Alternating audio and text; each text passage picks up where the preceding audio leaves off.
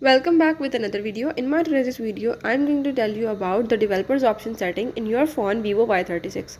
So in this device, if you want to do the developer's option settings or if you want to enable the developer's option, I will show you how you can do it. Before I start, if you're new to my channel, don't forget to subscribe and press the bell icon. Now let's watch complete video, follow all the steps and you will learn it.